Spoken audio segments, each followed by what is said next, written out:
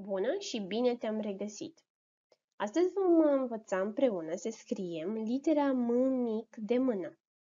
Eu sunt Oana Oana și îți doresc să petrești timp frumos alături de mine. Din ce elemente grafice este formată această literă? Le-am scris cu culori diferite să le observi mai bine. Sunt două bastonașe și o za. Unul, al doilea și o za. Înainte să scriem, te rog să îți încălzești foarte bine musculatura mâinii. Ține creionul corect în mână, sprijinindu-l pe degetul din mijloc, apoi îmbrățișează-l cu celelalte două degete. Ai grijă ca spatele tău să fie într-o poziție corectă. Ce este foarte important să observi în timp ce eu scriu este cum leg aceste elemente grafice. Privește-mă cu atenție.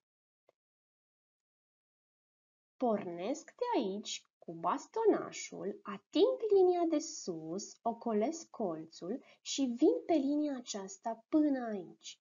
Urc fără să ridic creionul de jos pe aceeași linie, ating linia de sus, ocolesc colțul și vin și mă opresc aici. Două bastonașe și acum urmează o za. Mă întorc frumos aici.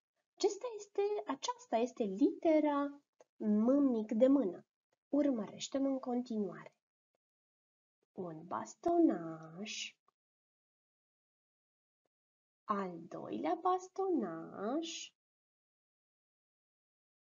și pe aceeași linie urc, ating sus și vin cu o za. Este foarte important ca tu să exersezi să nu ridici creionul de jos. Încă o dată. Bastonașul, cobor pe linie, urc, ating linia de sus, ocolesc colțul, iar pe aceeași linie ating linia de sus și mă întorc frumos cu za. Și încă o dată, privește-mă să vezi cât de frumos o să-l scriu pe acesta.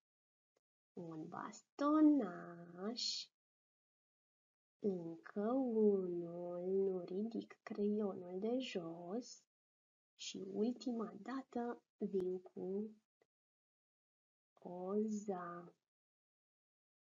Foarte frumos! Trebuie să-ți spun că această literă ne va ajuta să scriem um, un cuvânt foarte drag nouă. Îl știm pe M, îl știm pe A și vom putea să scriem mama. Data viitoare te voi învăța acest lucru.